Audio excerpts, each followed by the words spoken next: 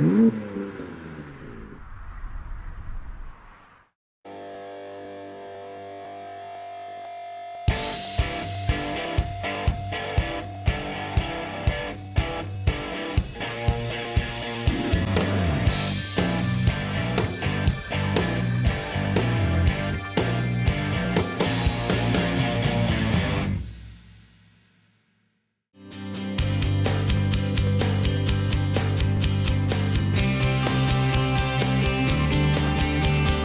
There's a huge game at the Liberty Stadium this Friday night when Clermont Auvergne visit in round five of the European Rugby Champions Cup.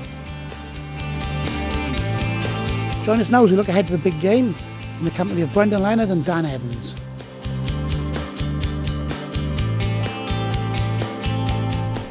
Brendon, first things first, since we last spoke, you've become a father, a, a young girl born in Swansea. Congratulations.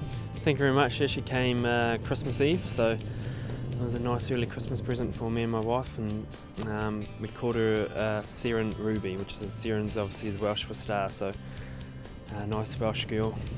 And how are you coping? How are you coping with parenthood now, being on your own, thousands of miles away from family and friends?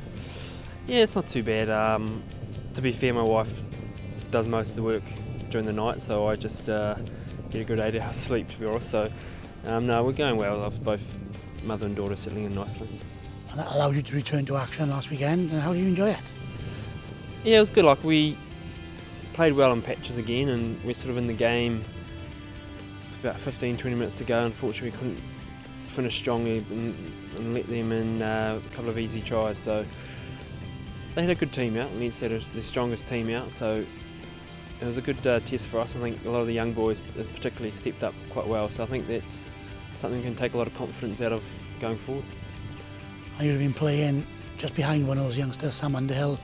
You'd have seen firsthand some of the great work he was doing, but also you weren't too far away from Owen Watkin either. You'd see that he was making an impression, bashing people out of the way. Yeah, they both impressed me early on in the season. Um, especially Owen in the, in the couple of in the warm-up game we had in, against Saracens, and Sam Underhill has been playing regularly during the World Cup. So they've both been very impressive for uh, for young men. So it's I'm sure it bodes well for the, for the Ospreys if they can um, sort of hang around and sure we see them in Ospreys colours for many years to come. But now we have to park up the disappointment of last Friday, look ahead to this coming Friday. Clermont Auvergne in round five of the Champions Cup. They're top, two points ahead of us in second place, two, two rounds to go, everything to play for. Yeah, it's a big couple of weeks. Um, you know, there's a lot riding on, obviously this game and the next one away at Exeter. So first things first, we've got to get this week right and go in with, I guess, quite confidence. If we play our game, we get our things right, um, do the simple things well, we'll create opportunities, and then, you know, from there, if we get a couple of good opportunities, we take them, then we can sort of put the pressure on on Clermont, and they can sort of uh, start chasing the game. It's, I guess, it comes down to to us having some confidence going into the game, and just doing the basics well. I suppose it's about being accurate, being clinical, and all those things, knowing your roles, and just doing what you train all week to do. Yeah, exactly right. Obviously, there's a few players in, in the team that will provide a bit of X factor. Obviously, Biggs is on in, in pretty good form, and the full pack's going pretty well around the around the park. So there's definitely stuff there that will help us score tries and, and, get enough points to win this game. So it's about, I guess, working hard for each other, and as I say, just doing the basics right, attack and D, and then once we get those opportunities, let's score some tries.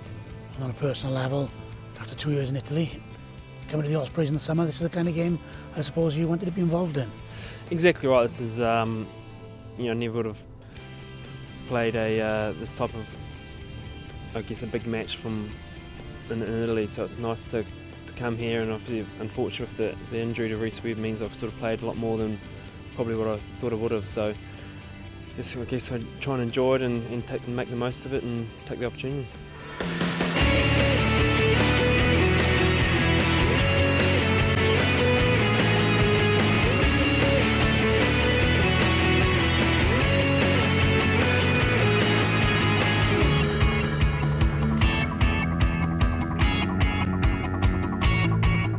This Friday night is Le Crunch Part 2 when the Ospreys take on Clermont Auvergne in the European Rugby Champions Cup.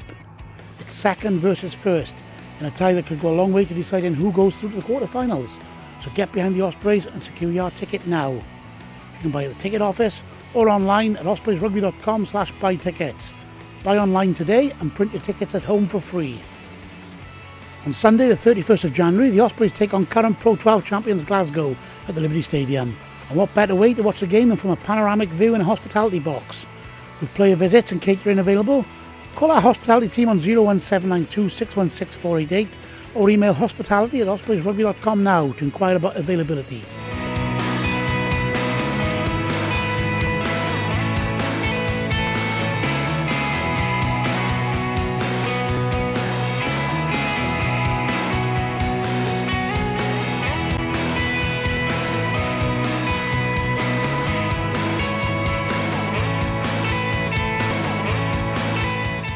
Ultimately disappointment last weekend against Leinster.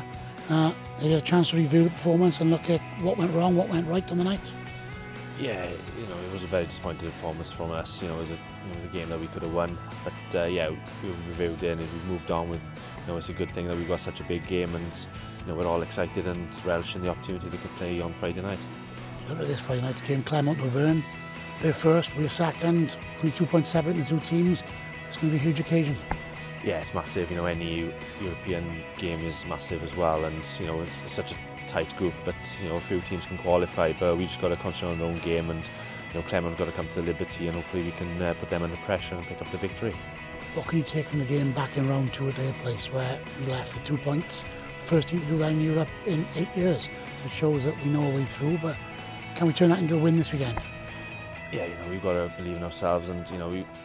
We put them a lot under a lot of pressure out there, and I think they expected. So hopefully, we can you know do the same this week, and you know be a little bit more clinical, and you know shore up the defence to stop them sort of getting the tries they had out there. So you know, it's you know shore up the defence, and hopefully we can uh, attack attack as well as we did out there. I think when the pool was drawn last summer, most observers from the outside had us down to finish fourth. Um, so we've perhaps made a point or two along the way, but still a lot of work to be done if we're going to complete the job and progress to the last eight for the first time since 2010. Yeah, you know, it's uh, it's nice to be still in the competition at this stage and hopefully we can uh, you know prove doubters wrong again this weekend and you know uh, advance from uh, the Claremont game with a victory and you know it, it bodes a nice little game the week after but focus is now always on the Claremont game and hopefully we can just get a victory and uh, you know, play well. You've done the analysis. What is the secret of a win against Clermont Auvergne at the Liberty? Oh, we don't want to give our tactics away just in case they're watching us, you know.